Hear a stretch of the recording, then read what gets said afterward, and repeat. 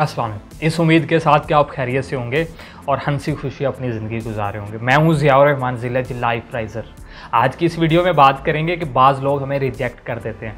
उस रिजेक्शन को कंट्रोल और मैनेज कैसे करना? है ये बहुत सारे दोस्तों और बहुत सारे यंगस्टर्स का सवाल रहता है। बहुत सारे यूनिवर्सिटी स्टूडेंट ये पूछते रहते हैं कि, सर, अगर आपको कोई रिजेक्ट कर दे तो वहाँ करना क्या चाहिए? रिजेक्शन से कैसे बचा जाए? और अगर ऐसा कुछ हो ही जाए, ये सानिया हो ही जाए तो फिर उसको मैनेज कैसे किया जाए?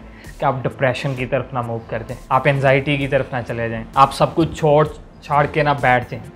ऐसा क्या किया जाए, इसको मैनेज कैसे किया जाए, उसी के ऊपर बात करेंगे। याद रखिएगा रिजेक्शन एक गैर रवायती अमल है। ये हर एक के साथ नहीं होता।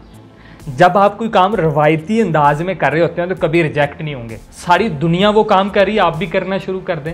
आप कभी रिजेक्ट नहीं होंगे। सारी दुनिया से हट के कुछ करेंगे तो लोग उसे कबूल नहीं करते।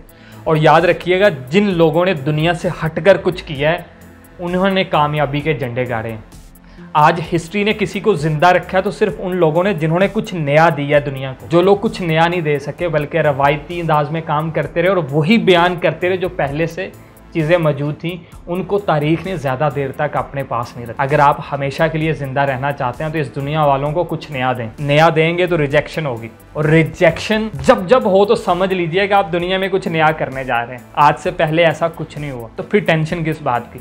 आप तो दुनिया में एक नई चीज़ इंट्रोड्यूस करने जा रहे हैं या कर चुके हैं। और अगर आपको लगे कि ये रिजेक्शन रिलेशनशिप में ऐसा कुछ है आपको किसी ने रिजेक्ट कर दिया अपना दोस्त बनाने में अपना बेटा कहने में अपना भाई कहने में अपना स्टूडेंट बनाने में अपना टीचर बनने में किसी ने आपको रिजेक्ट कर दिया रिलेशनशिप में तो समझ लीजिएगा। सियाने कहते होते हैं कि ये ये जहन बना लीजिएगा कि वो आपके लायक ही नहीं था। इसलिए तो उसने आपको रिजेक्ट कर दिया। इसलिए नहीं कि आप उसके लायक नहीं थे।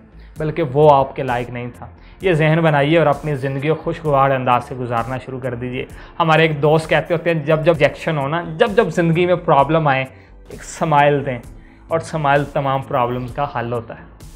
तमाम प्रॉब्लम का एक ही सोल्यूशन है कि स्माइलिंग फेस जब जब रिजेक्शन हो तो एक खूबसूरत मुस्कुराहट के साथ, लोगों के साथ इजहार करें कि आज उस बंदे ने आपको खो दिया है जो आपकी कदर ही नहीं जानता और जो आपकी कदर ही नहीं जानता, उसके लिए किस बात की टेंशन जो लोग आपसे वाकिफ़ ही नहीं हैं, जो लोग आपकी सलाहियतों से फ़ायदा ही नहीं उठा सकते, उनसे शिकवा किस बात का? उनको उनके हाल पर छोड़ दें।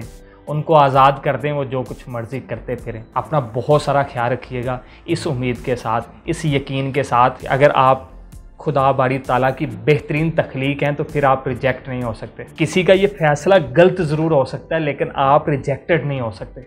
अपना बहुत सारा ख्याल रखिएगा अल्लाह।